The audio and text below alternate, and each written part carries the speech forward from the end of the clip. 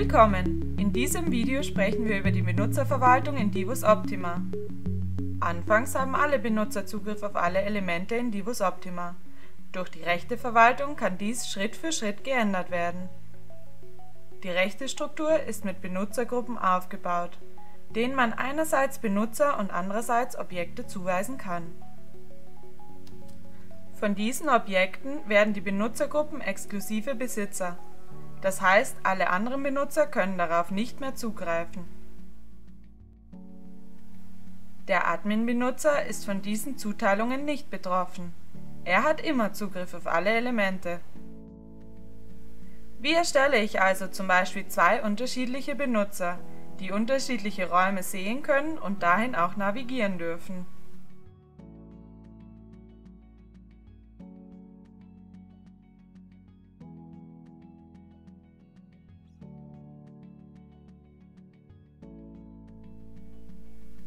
Sie brauchen dazu zwei Benutzergruppen. Diesen wird jeweils ein Benutzer zugewiesen.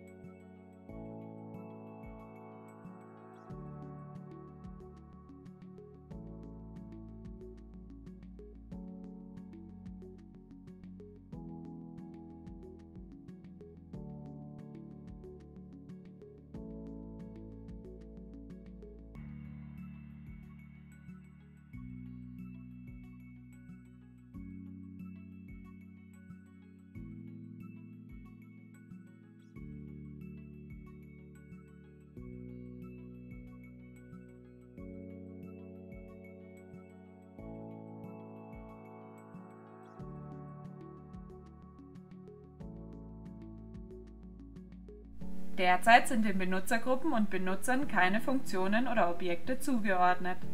Also hat sich in den Zugriffsrechten noch nichts geändert. Mal sehen, was passiert, wenn wir unseren Benutzergruppen Räume zuweisen. Wir klonen unser Erdgeschoss und nennen es Obergeschoss und klonen es erneut und nennen es Untergeschoss. Wir weisen Icons zu, um die Änderungen in unserer Visualisierung besser unterscheiden zu können. Benutzergruppe A soll Zugang zum Obergeschoss haben, während Benutzergruppe B Zugang zum Erdgeschoss haben soll. Auf das Kellergeschoss sollen beide Benutzer zugreifen können. Ich ordne nun der Benutzergruppe A das Obergeschoss zu. Ich mache dasselbe für die Benutzergruppe B und dem Erdgeschoss. Das Kellergeschoss bleibt für beide Benutzergruppen zugänglich. In der Visualisierung kann der jeweilige Benutzer jetzt nur noch die ihm zugeordneten Räume sehen. Wenn wir uns nun mit dem Benutzer der Gruppe A anmelden, können wir feststellen, Wenn dass wir uns nun mit dem Benutzer der Gruppe A anmelden können, können wir die feststellen, dass wir Gruppe zugeordnet nur die Objekte oder die noch keiner Gruppe zugewiesen wurden, die entweder unserer Gruppe zugeordnet Wir haben keinen Zugriff auf oder Objekte, die noch keiner Gruppe die der Gruppe B wurden. zugeordnet wurden. Wir haben keinen Zugriff auf Objekte, genauso, die der Gruppe B zugeordnet wurden. Und umgekehrt gilt das genauso. Wenn ich Objekte aus meinem exklusiven Raum den Favoriten hinzufüge, mache ich sie auch für Benutzer zugänglich. Für dieses Problem gibt es mehr wenn ich Objekte aus meinem exklusiven Raum den Favoriten hinzufüge, mache ich sie auch für Benutzer zugänglich. Für dieses Problem gibt es mehrere Lösungsmöglichkeiten. Erstens, Sie ordnen die einzelnen Objekte den Benutzergruppen zu, dadurch bleiben sie auch in den Favoriten nur für die Besitzergruppe sichtbar. Zweitens, Sie blenden die Favoritenseite aus dem Navigationsmenü aus.